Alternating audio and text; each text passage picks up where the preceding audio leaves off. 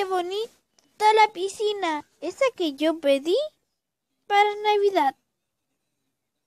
Estaba muy buena y bonita y dulce y rica.